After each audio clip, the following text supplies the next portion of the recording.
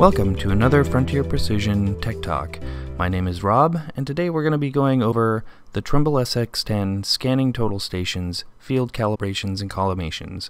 Specifically, we'll be going over the telecamera, autofocus adjustment, and automatic camera collimations. Let's start off by connecting to our SX10 and leveling up.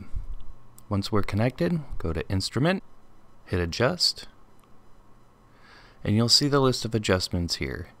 Let's start with the compensator calibration. The rest of the ones below need the compensator calibration to be done before you can move on. The compensator calibration only takes a couple minutes, but greatly increases the effectiveness of the collimations preceding it. Alright, our calibration is complete. Now we can move on to the telecamera autofocus and hit next.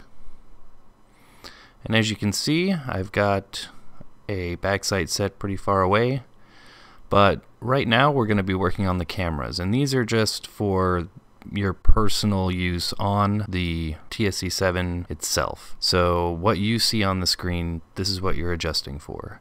Now before we start the telecamera autofocus calibration, we're going to want to find something that we can focus on. We've got this sign here, it's got some good edges, uh, it's white background with black lettering so it'll work just fine. So let's center up on it and we've got some current values here but we've got to get a little closer to adjust the autofocus. So once you get in close, you can move into the manual adjustment, which allows you to tap back and forth and kind of test what looks good and what doesn't. As it gets blurrier, you're going to want to back it off and come the other way.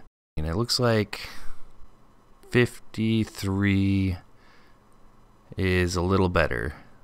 So go ahead and accept that.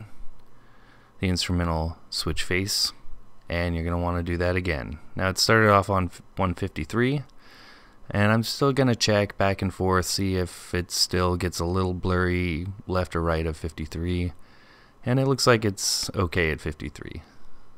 And as you can see we've got the old values on face 1 and 2 and the new values on face 1 and 2 and it looks like it adjusted it by a negative 1 on each. Okay, hit store and we can move on to the automatic camera collimation. Hit next. Alright, it looks like we start out in the overview camera on that drop down screen on the right. So we're going to want to back out all the way to the overview and let's find something a little closer. Uh, a little closer. Let's see. I'm gonna let's choose something that's gonna fail. So I see a sign over here that isn't squared up. It's uh, you know diamond shape, square on its side, whatever you want to call it. But the edges are outside of our collimation box. So it's getting some of the background. It says it's a, a good distance. It gives me a green box, but this is ultimately going to fail um, especially because it's in a median and there's cars passing by in front of the camera.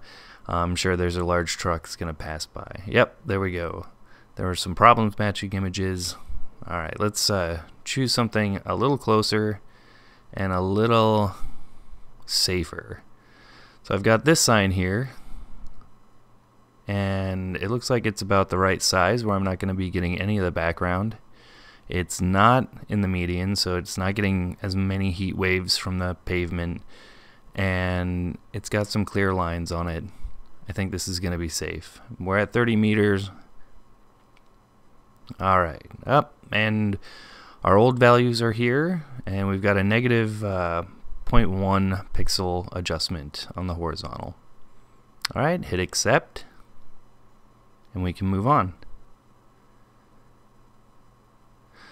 Now we have to do that three times. Uh, so we're going into our second one on the automatic camera collimation.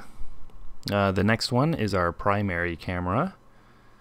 And so we're going to want to zoom in to our primary camera.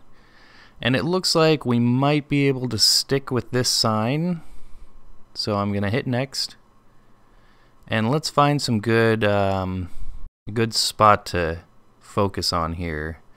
I think we're going to want something with a little bit more horizontal and vertical lines.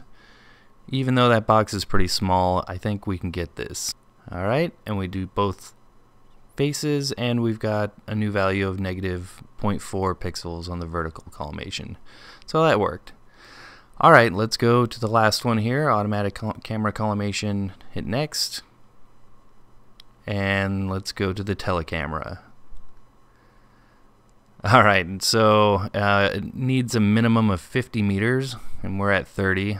Obviously, I'm not going to be getting a whole lot of uh, definition inside that little box, so we're going to have to Let's get out of here and zoom in quite far and see if we can find anything with good definition.